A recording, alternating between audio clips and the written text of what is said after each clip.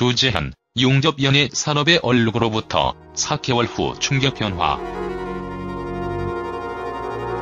연예가 중계에서 배우 조재현의 성폭행 논란을 다뤘다.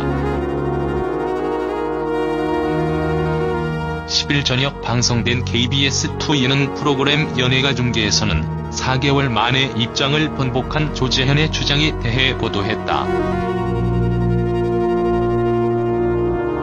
조재현은 미투 폭로 이후 저는 죄인이다.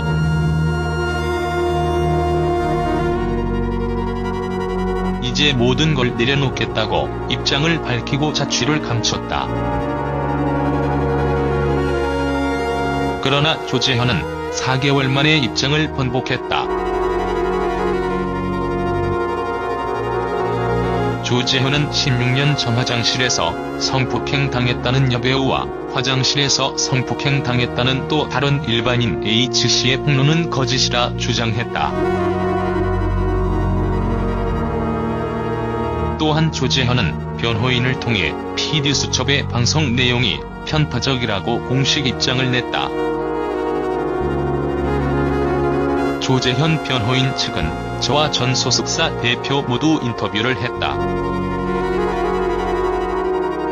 여배우와 H씨 측의 주장은 상당 시간 할애해 방송이 됐는데 저희 쪽 의견은 반영이 안 됐다.